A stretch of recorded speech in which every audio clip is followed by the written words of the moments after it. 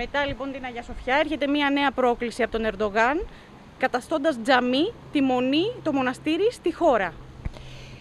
Η μονή της χώρας είναι ένα από τα σημαντικότερα βυζαντινά μνημεία. Είναι ένα μοναστήρι, όπως είπατε, στη χώρα. Η χώρα για τους Βυζαντινούς ήταν η εκτός των τυχών περιοχή, που η πρώτη του φάση χρονολογείται στον 6ο αιώνα. Έχουμε στον 9ο αιώνα μια δεύτερη φάση και τελικά στον 11ο, 12ο διαμορφώνεται έτσι όπως το ξέρουμε σήμερα.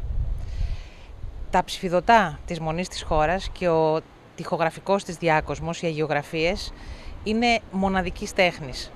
Αν θυμηθούμε την Παναγία, η Παναγία είναι σε όλα τα εγχειρίδια της βυζαντινής ιστορίας και της βυζαντινής αρχαιολογίας σε όλο τον κόσμο.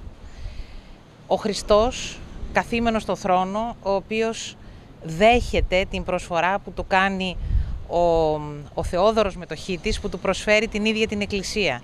Επίσης θεωρείται από τα μνημειώδη, μνημιακά ε, κεφάλαια της βυζαντινής τέχνης και αγιογραφίας.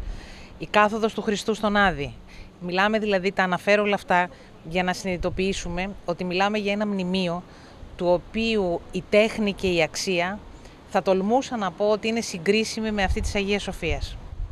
Εδώ λοιπόν, έτσι όπως αναφέρει ήδη η ανακοίνωση του Υπουργείου Εξωτερικών, έχουμε μια επόμενη, μια δεύτερη πρόκληση από τον Τούρκο Πρόεδρο, η οποία έχει καταδικαστεί από την ελληνική κυβέρνηση δια του Αρμοδίου Υπουργείου Εξωτερικών, έχει καταδικαστεί από την Κομισιόν. Πριν από λίγο έκανε δήλωση και η Κομισιόν ότι καταδικάζει αυτή την, τη συμπεριφορά.